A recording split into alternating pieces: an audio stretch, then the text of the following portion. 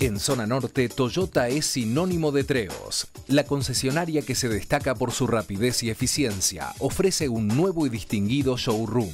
Sala de espera, wifi, cafetería y servicio de test drive nutren el confort de ser atendidos por asesores especializados. Treos despliega todos los productos que se fabrican y comercializan en la Argentina, entre ellos la flamante Hilux, un halo de robustez, potencia y tecnología es decir, la superación por encima del cambio.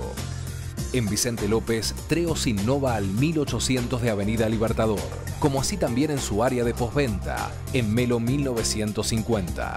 En Zona Norte, Toyota es sinónimo de Treos.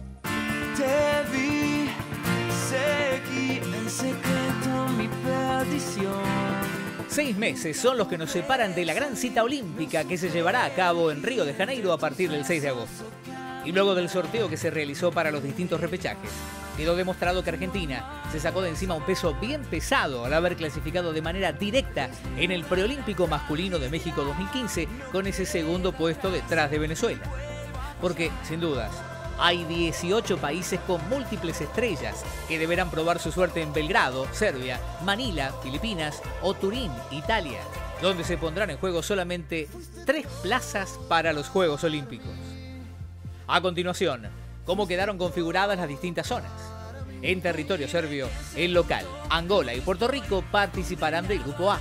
Japón, República Checa y Letonia estarán en el B. En tierra filipina, Turquía, Senegal y Canadá integrarán el grupo A. Francia, Nueva Zelanda y el dueño de casa, el B. En suelo tano, Grecia, México e Irán formarán parte del grupo A. Túnez, Croacia y el anfitrión estarán en el B. Mientras que en la rama femenina, las gigantes tienen más expectativas que nunca de lograr el acceso por primera vez a un evento de este calibre. Por eso, en Nantes, Francia, intentarán frente a Camerún y Turquía estar a la altura del desafío que es obtener uno de los cinco boletos para Río 2016. Así se disputará el repechaje olímpico femenino.